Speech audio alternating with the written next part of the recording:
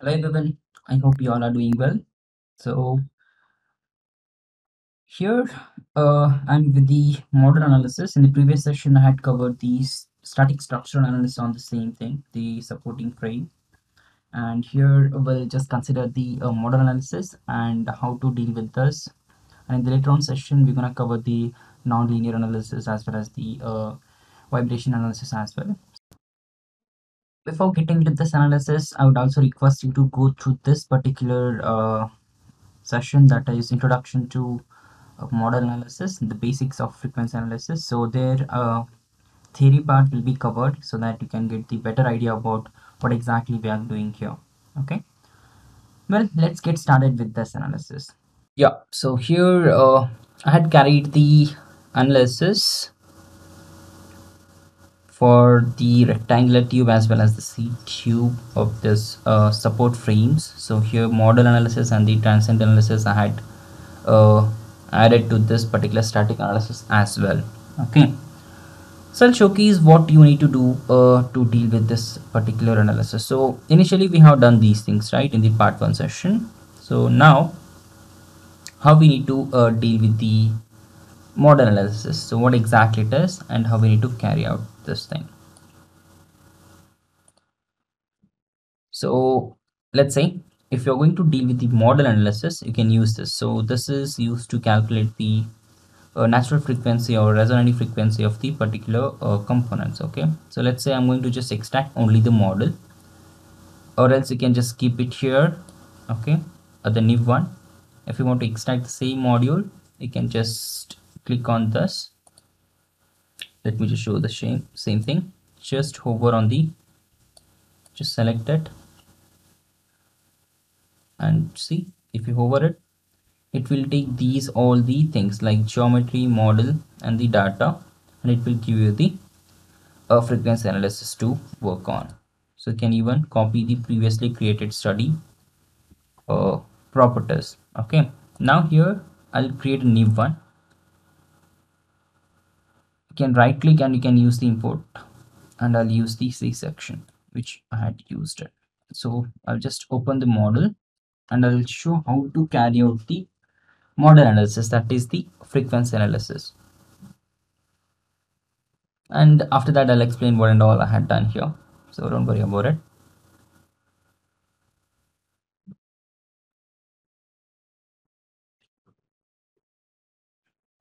Okay so this is the model. The mesh i would like to take it as default. I'm not going to change anything here. When it comes to this we can simply uh, select this one the model. Right click and insert. I'm going to use the fixed support. I'd like to take only these faces as a reference. We'll just imagine at the moment. Okay and then when i click on this analysis settings the modes by default it is 6 remember always try to extract the uh, modes around 100 to 200 so that it should have the mass participation factor approximately more than 75 to 80 percent. That will showcase what exactly it is. But here for our convenience i'll take it up to 200 okay or 250 just remember you can even consider 6 or 7 that's fine but remember mass participation factor plays very important role while dealing with the uh, natural frequency or resonant frequency uh, consideration. Well so once you define it you can simply run this analysis. So assumptions here sir we are not going to consider any of the uh, loadings okay we'll be uh, taking only the static uh, conditions here and only the fixtures we're gonna consider. If you want you can even remove that. Automatically software will try to constrain your model with respect to the requirement okay? These are the two important things. Uh, one is the loading conditions are static and there is no complex contacts like we'll consider all bonded okay? I'll run the study to just explain you how to consider the natural frequencies or failure modes and the resonance frequencies for the particular models. Yeah so once you run the analysis you're gonna get the all the results here up to 250 i'm not going to extract everything so i want only the first initial 15 i'll simply right click i'll select only these and create mode shapes here. So all the mode shape will be imported here. Right click and evaluate these results for now. Okay. Now as i said if you want to check the resonant frequency or failure frequency or natural frequency of any component we need to deal with the uh, mode shapes here. Okay the failure modes let's say the deformation of the first one you could see this is like this you can just animate this. With respect to the practical approach this particular component will not behave like this right? With respect to the boundary condition which you want to apply. So you can neglect this same thing this. Can you even see? This is not going to happen. With respect to our practical uh, loading condition which we had applied previously okay? We are not going to consider any torques and all these all are the natural frequencies of this particular model. Remember that okay? If someone asks you this all are the natural frequencies of this particular component. But the thing is with respect to the practical approach the boundary conditions which we had applied according to that what i need to consider that plays very important role here. Keep on checking the same thing. 11th one let's try.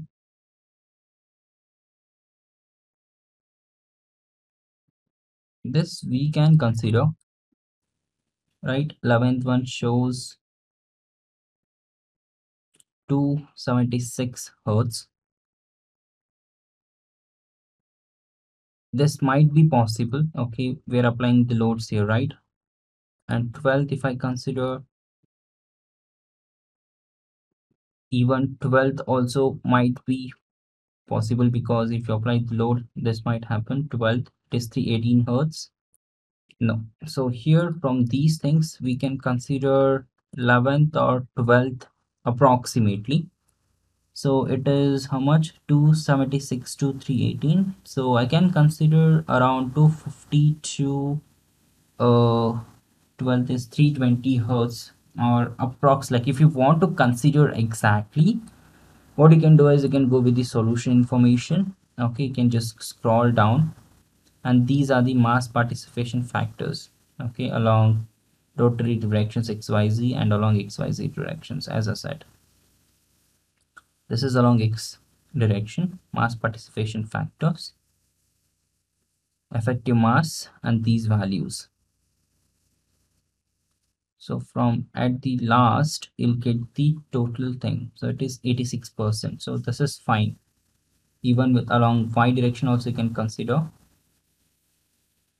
this is 72 percent. So this is fine. So if you want to extract only that things you can go to this uh, solver output and you can select the participation factor summary. From here you can analyze. So 42 hertz these are the uh, participation factors. Yeah to uh, just uh, help you out with this uh, here it is quite complicated to just select which mode shape is a, a perfect one and uh, with respect to mass participation how we need to consider the results. What i'll do is i'll create one more study. So here uh, i'd like to import the model. So we can just go with the import browse the location. So i'll add the tuning fork. Uh, so I'd like to keep the uh, the resonant frequency or natural frequency of the tuning fork secret so that you can just uh, easily recall what exactly the natural frequency of the tuning fork. We'll see from this analysis here. Okay. So this is I'm just adding to help you out how to consider the resonant frequency of failure modes or the failure frequency of any of the model. Okay. Let's say this is the tuning fork not going to fix anything here so anyway if you don't fix the model or the anyway if you don't fix these things software will try to just uh, constrain all the degrees of freedom you don't need to worry about it so at the moment uh, let me just select the frequencies up to 15 okay? I need it. That'll simply run. Nothing else okay? So let's see how it's gonna help. So by default it will take the mesh size as well if you want you can refine it but i'll go with the v6 simple thing i haven't done anything here okay? It's quite simple. So the mesh is it is too fine i'll just refine it certain level this will help us. Yeah now this is fine okay? Now i'd like to just take these all the modes right click and extract them just evaluate all the results. Now i'll just go with the uh, solution information output. I'll just select the mass participation factors. Uh yeah when it comes to the effective mass ratio. You could see. These are the results. So it is one for these all. Yeah. So when it comes to the effective mass ratios uh, you need to consider which is near to one. Okay. Uh, you want to have all the results here. You need to remember the natural frequency which is lowest one would be the preferable. But with respect to this you're gonna get this one. So effective mass ratio should be close to one. So from this i can consider uh, 6 7 or 8 within these three i can consider any of the natural frequency would be fine. But now how to evaluate which is the perfect one? So to deal with that you need to just check the modes okay? This is the first mode. You could see this is the model. You can just animate this the first mode. It is free to move. It is moving along direction. So again this is also same thing. It is rotating. Same thing. So if it is the case it will try to restrain the things. All the first six. Means you already know there are six degrees of freedom right? Three translation and three rotational. So it will try to constrain along all the degrees of freedoms and then so when i go for this when it is moving i switch to seventh one you could see the mode deformation. So this is how it is moving. But when with respect to the practical condition this is the mechanism right? This is how it's gonna vibrate. So with respect to that the seventh mode it is 443 hertz right? 443 hertz for the tuning fork. When i switch to the mode shape this one will it be like this? No right it won't rotate like this or it won't uh, behave like this practically. Even this is not the possible. Even like this if you go keep on increasing these are not the required mode say shapes. So when i go back to the seventh one so this shows the practical application. So this is the required mode and with respect to that you're gonna see the natural frequency. It is resonant frequency 443 hertz. So evaluate this one. So you can just google it. The natural frequency of the tuning fork. It is 432 hertz 443 hertz near to that okay? 440 hertz 440 hertz right? So same thing you're gonna get it here okay so uh, ultimate aim is to find out the modal analysis of frequency analysis is the failure mode that is the resonant frequency the natural frequency of the component so that it should not match to uh, the working natural working frequency. So let's say if this tuning fork if you uh, take another tuning fork and if you just vibrate it and if you keep a same uh, resonant frequency tuning fork near to that both will start vibrating. So this is called as resonance. To avoid this uh, this is fine here but when it comes to the practical application they might be drastic a failure. There might be some uh, good applications as well like the pianos and the guitar and all.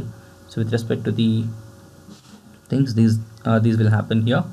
But remember with respect to the practical application if this uh, if you get the uh, closer mode shape you need to consider that particular natural frequency. Same thing with respect to the this conditions as well. So this is how you need to uh, deal with the uh, natural frequency analysis. I hope you got it how to extract the uh, modes and how to consider the natural frequency of the particular model.